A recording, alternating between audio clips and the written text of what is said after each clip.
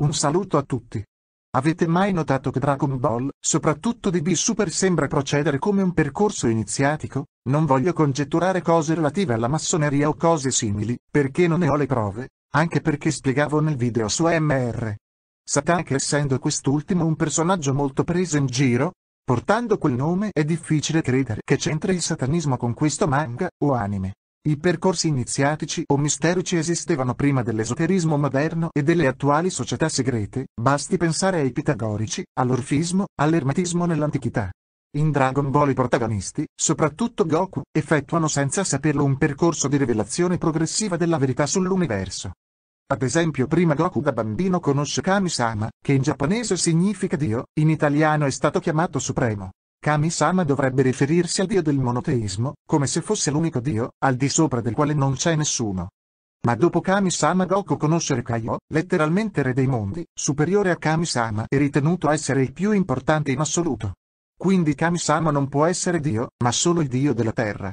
Rikaio non solo ha altri tre colleghi suoi pari ma è sottoposto a un'altra divinità, cioè il Gran Rikaio. Fino ad ora per ogni divinità conosciuta, da Karin che era solo una remita, fino al Gran Recaio per Goku sono corrisposti degli allenamenti particolari. Ad ogni incontro egli ha aumentato la sua forza e le sue capacità. In particolare grazie a Kami-sama Goku ha conosciuto la percezione del Ki, facoltà fondamentale per il combattimento e la difesa e grazie a Recaio egli userà il Kaioken e la Genkidama. Invece grazie agli allenamenti dal Gran Recaio arriverà fino al Super Saiyan 3. L'autorità massima dell'universo è Kaioshin, o almeno il grande Kaioshin se ce n'è più di uno. Di fatto l'SS Lunga 2 è più forte di Kaioshin dell'Est, con suo stupore ammette di essere stato superato da dei mortali. In DBGT sarà Kaioshin il sommo a trovare il modo di diventare Super Saiyan 4. In DB Super, o meglio, nel film La battaglia degli dei, scopriamo che esistono anche gli dei della distruzione, contrapposti a quelli della creazione, cioè i Kaioshin. In teoria gli Akeshin non sono più importanti ma le loro mansioni sono diverse ed è necessario che gli dei della distruzione siano scelti tra i guerrieri più forti.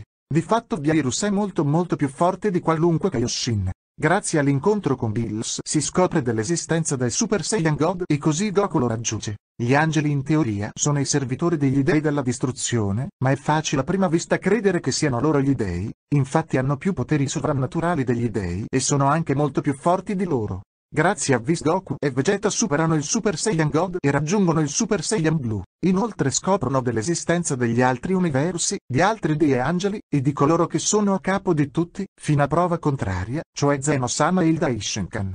In teoria questa è stata la rivelazione massima che è stata fatta a Goku e gli altri riguardo l'universo. La maggior parte delle persone non ha idea di tutto ciò, non ha idea nemmeno di chi sia Kami-sama. Ora non sappiamo come Goku abbia ottenuto il suo nuovo power-up, forse grazie a Whis, o forse grazie all'incontro con i guerrieri di altri universi, Forse ci sarà data una spiegazione. Di fatto Goku nel tempo non solo si è avvicinato progressivamente alla verità e ha fatto amicizia con gli dei, compreso Zeno-sama, che lo considera suo personale amico, ma nel tempo si è avvicinato alla natura divina. Prima Kami-sama gli chiede di prendere il suo posto dopo averlo superato in forza, ma rifiuta, poi domina le tecniche di Reikaio che però nemmeno Reikaio è capace di dominare, superando anche lui in forza. Poi nell'aldilà il gran maestro Reikaio si rende conto che Goku Super Saiyan è più forte di lui, poi si scopre come dicevo che il Super Saiyan 2 era più forte di Kaioshin. In DB Super Goku e Vegeta padroneggiano il Ki divino, diventando nella pratica delle divinità, almeno quando si trasformano. L'ultima trasformazione di Goku è una tecnica che nemmeno gli dei sanno usare perfettamente, ma che Goku e sicuramente anche Jiren sanno usare cioè l'autonomia di movimento, capacità che per natura gli angeli sanno padroneggiare. Quindi per Goku lo step successivo deve essere quello di superare gli dei della distruzione e arrivare al potere degli angeli, visto che a quanto pare la trasformazione di Goku è stata momentanea, e la strada per diventare più forte del Daishinkan sembra essere lunga. Inoltre per ora ci sono molte cose che non sono state rivelate.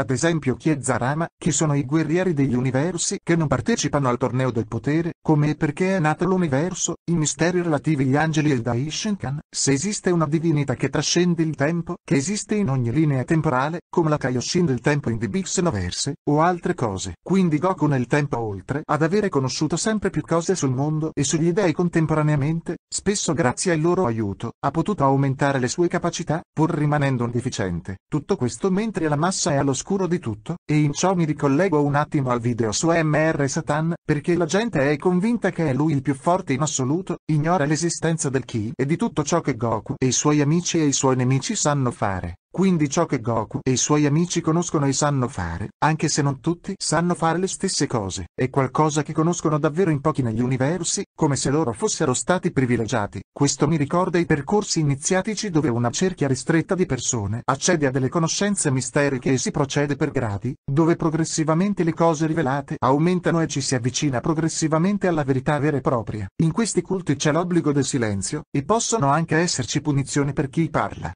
In Dragon Ball pur volendo parlare non verresti creduto, ma dopo aver conosciuto Mr. Satan preferiscono non farlo per fargli un piacere personale in quanto amico e parente di Goku, ma anche per ringraziarlo per averli aiutati con Majin Buu, anzi, usano le sfere del drago per far dimenticare alla gente di Majin Buu. Insomma, preferiscono che le persone non sappiano. Spero che il video vi sia piaciuto, alla prossima!